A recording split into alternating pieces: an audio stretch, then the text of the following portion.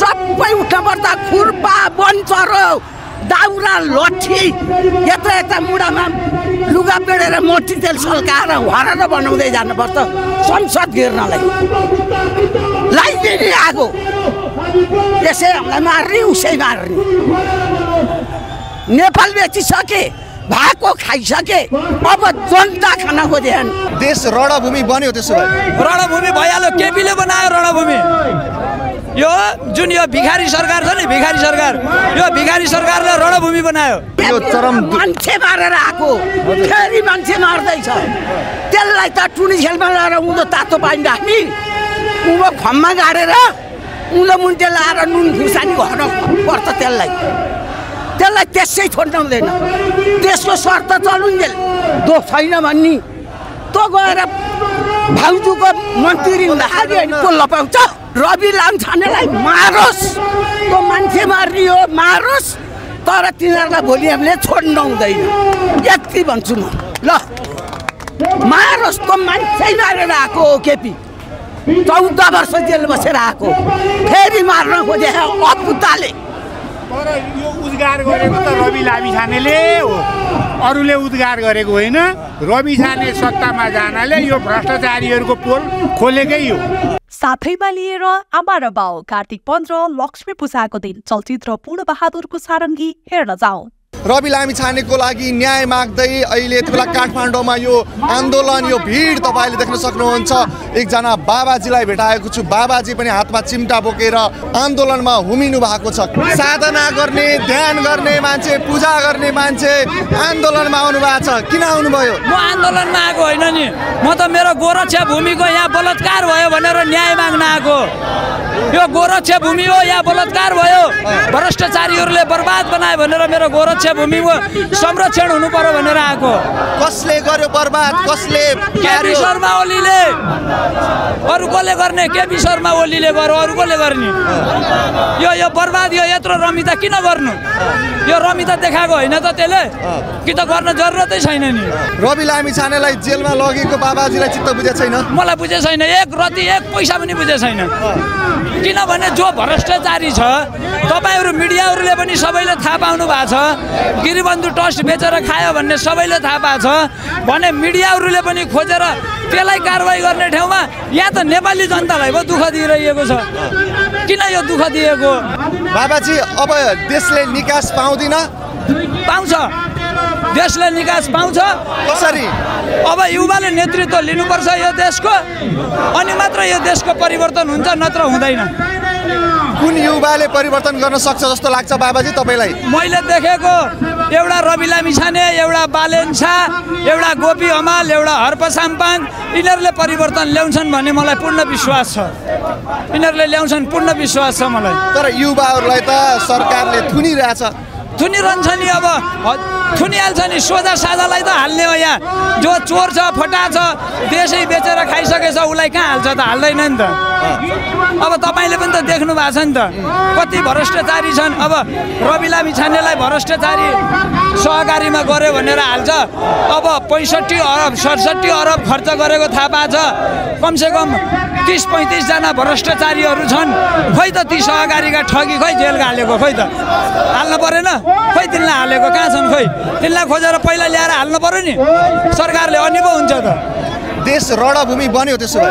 रणभूमि भइहाल्यो। केपीले बनायो रणभूमि। यो जुन यो भिखारी सरकार छ नि भिखारी सरकार यो भिखारी सरकारले रणभूमि बनायो। जनताले बनाएको होइन जनतालाई रणभूमि हुन बाध्य बनायो नेपाल सरकारले। बुझ्नुभयो त यो भिखारी सरकारले बाध्य बनायो यहाँ आन्दोलन गर्न? नत्र यत्रलाई आन्दोलन गर्न रहर छैन नि। किन गर्नु पर्यो? तपाईँले अहिले माइक लिएर आउनु हुँदैछ हक सबको लागि बोल्नु हुँदैछ। भोलि तपाईँलाई नि समस्या पऱ्यो भने न्याय माग्न कहाँ जाने? सरकारबाट जाँदा चोर सरकार छ। मैले गएर कहाँ न्याय पाउने ल भन्नु त।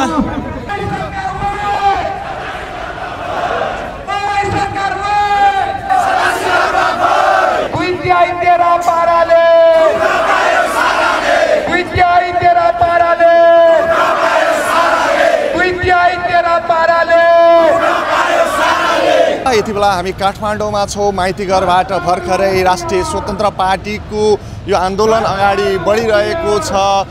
जब रवि लामी छाने हिरासतमा पुगे त्यसपछि चर्किएको आन्दोलन पोखरा हुँदै काठमाडौँसम्म आइरहेको छ र पोखराबाट काठमाडौँ आएको यो आज पहिलो दिन हो। तपाईँ देख्न सक्नुहुन्छ राष्ट्रिय स्वतन्त्र पार्टीले आन्दोलनलाई अझ सशक्त र प्रभावकारी बनाउने उद्देश्यका साथ पोखरामा केन्द्रित आन्दोलनलाई काठमाडौँ ल्याएको छ र अहिले काठमाडौँमा देशका विभिन्न ठाउँबाट व्यक्तिहरू आउने र आन्दोलन गर्ने क्रम अगाडि बढिरहेको छ। आज निश्चय आज निकै नै सशक्त रूपमा रवि लामिछानेको रिहाईको माग गर्दै काठमाडौँमा आन्दोलन भइरहेको छ दर्शकबिन तपाईँ देख्न सक्नुहुन्छ प्रहरीहरूको निकै नै कडा सुरक्षा व्यवस्थाको बिचबाट अहिले यो आन्दोलन अगाडि बढिरहेको छ।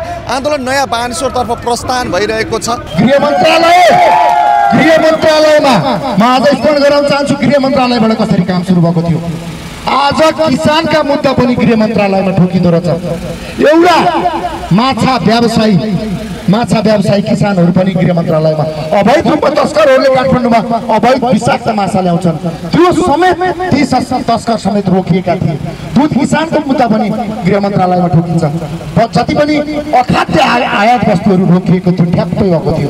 त्यहाँनिर तस्करहरू भन्सारबाट भागाभाग भएको थियो। अर्को एउटा गाथा तपाईँहरूलाई प्रस्तुत गर्न चाहन्छु। राजस्वको सन्दर्भमा गएर हेर्नु होला आम नागरिक दाजुभाइ तथा दिदीबहिनीहरू। राजस्वको भन्सार बोर्डरहरूबाट उठेका ती ग्राफहरू विपत्तै बढ्न थालेका थिए। निध हराम भएको थियो। सुशासनका लागि अभ्यासहरू सुरु भएको थियो। मान्छेहरू पक्राउ पर्दै थिए।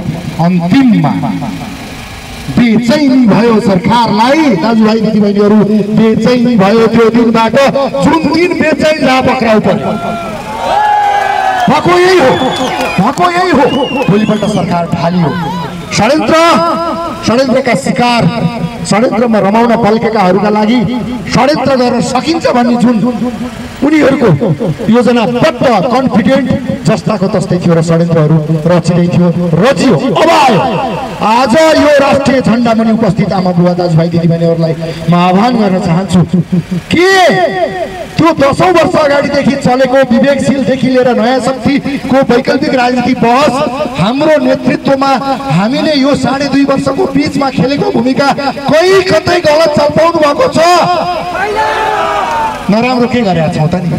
सदनमा तिनका कानका जाली फुट्ने गरी भ्रष्टाचार गर्नु पापी हो भ्रष्टाचारीहरू धुन्धुकारी हुन् भन्ने शब्द गलत हो।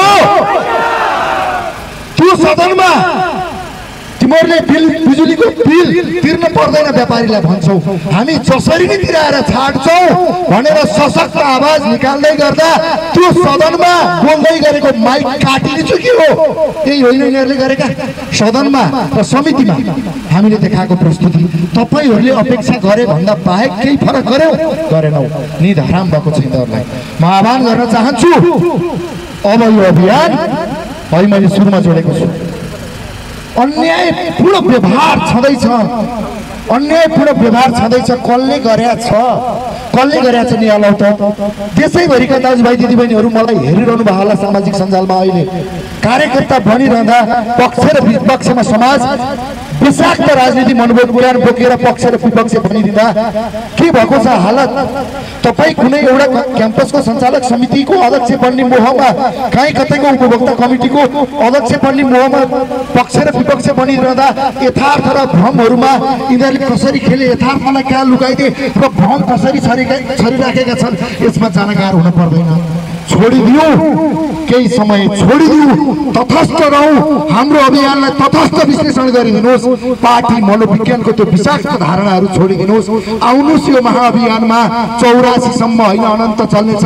यो देशमा भ्रष्टाचार विरुद्धको यो महाअभियान त्यो दिन लगेर टुङ्ग्याउला त्यो दिन लगेर अनि त्यहाँबाट अरू बहस गरौँला जुन दिन भ्रष्टहरूको भागा भाग गर्ने दिन आउँदैछ त्यो दिनका लागि तपाईँहरू त्यो पार्टी मनोविज्ञान भन्दा अलिकति माथि उठिदिनुहोस् न। आज चौतिस वर्षसम्म भ्यायो त यसैले भ्यायो नि। यहाँ केन्द्र र बालुवाटार र सिंहदरबारमा गठबन्धन भएको भोलिपल्ट चिया पसलमा गठबन्धन आवश्यक छ।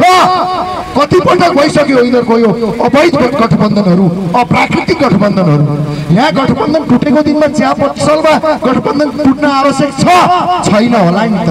आज देशभक्तहरू राष्ट्रप्रेमीहरू यो देशमा केही गर्छौँ भन्ने विभिन्न क्षेत्रबाट आएका यी युवाहरूको यी आवाजहरू जसरी भ्रमित बनाएर भ्रमित शैलीसँग आम नागरिकलाई यिनीहरू पनि उस्तै हुन् भन्ने भाष्य जबरजस्त निर्माण गर्न खोजिएको छ। यसको खबरदारी कसले गर्ने? म त्यसैभरिका आम नागरिकलाई आह्वान गर्न चाहन्छु। होइनौ उनीहरू जस्ता होइनौ यिनीहरू जस्ता बन्दैनौ। तपाईँको सृजनात्मक खबरदारीले हरेक दिन हरेक दिन अठार बिस घन्टा काम गरेका छौँ यो मेहनतलाई तपाईँहरूले सम्मान गरिदिनु होला। अन्तिममा उपस्थित दाजुभाइ तथा दिदीबहिनीहरू अब राष्ट्रिय मुद्दामा केन्द्रमा बहस भएर राष्ट्रिय मुद्दा सहितको यो अभियान निरन्तर चल्छ। मैले पोखरामा एउटा आवाज हिजो बोलेको थिएँ।